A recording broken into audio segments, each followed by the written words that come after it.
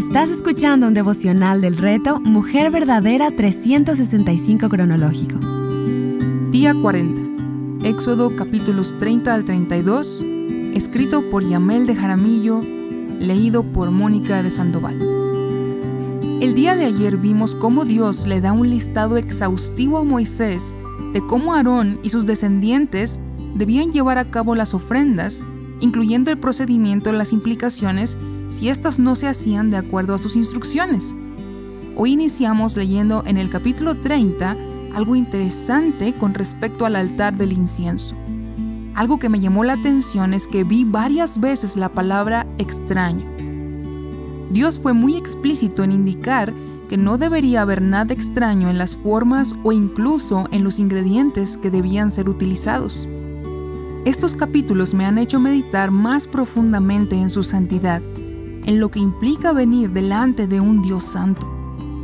Te invito a que este día meditemos en cómo nos debemos acercar a Dios. Aún la obra o servicio más insignificante o menos visible debe ser hecho en la forma que merece un Dios santo. Nuestras vidas deben ser una ofrenda agradable a Él. Luego pasamos al capítulo 31 y vemos que se mencionan dos personas, Besaleel y Aholiab, dos artesanos.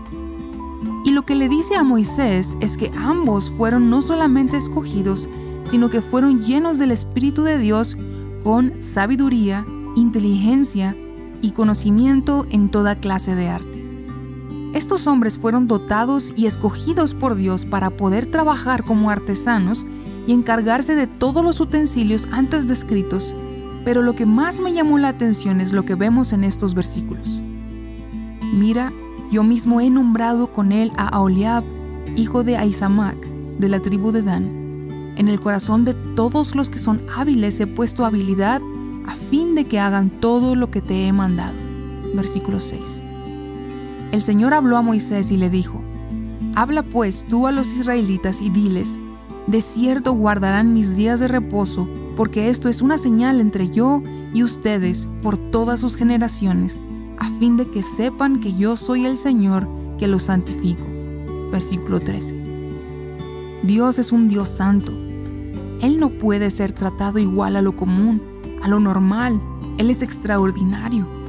No podemos pretender venir ante su presencia de la forma que queramos, ni mucho menos tratarlo como si fuera igual a nosotros.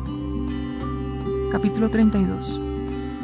Finalmente Dios ha terminado de darle la instrucción a Moisés le ha entregado unas tablas escritas por su mano y vemos a Moisés iniciar su descenso al pueblo a comunicarle todo lo que ha dicho el Señor. Luego de estar en la montaña viendo lo que Dios le decía a Moisés, hoy vemos la otra cara de la moneda. El pueblo de Israel, al igual que tú y yo, no supieron esperar en Dios y decidieron hacer las cosas a su manera. Cuando el pueblo vio que Moisés tardaba en bajar del monte, la gente se congregó alrededor de Aarón y le dijeron, levántate, haznos un Dios que vaya delante de nosotros. En cuanto a este Moisés, el hombre que nos sacó de la tierra de Egipto, no sabemos qué le haya acontecido. Versículo 1. Me sorprende ver cómo aún teniendo frente a sus ojos todo lo que había pasado en la montaña, el pueblo prefiere pedir que le hagan un Dios, un becerro, pero más allá de eso, llegar a decir, este es tu Dios, Israel, que te ha sacado de la tierra de Egipto. Versículo 4. ¿Cómo pudo ser esto posible? Sí, sí lo es. Así es nuestro corazón, perverso y engañoso. El pueblo se atrevió a atribuirles a esos dioses las proezas con las que Dios los sacó de la esclavitud, algo que hemos visto que Dios venía repitiendo una y otra vez, pero el pueblo prefirió volver a sus dioses e ignorar al verdadero Dios. Es interesante que el mismo Aarón se haya prestado a oír al pueblo en lugar de mantenerse firme delante de Dios. Dios le dice a Moisés que regrese, ya que el pueblo se había corrompido, y en ese momento le dice que va a dejar que se encienda su ira. Y vemos a Moisés intercediendo por el pueblo, por su pueblo, como le dice a Dios.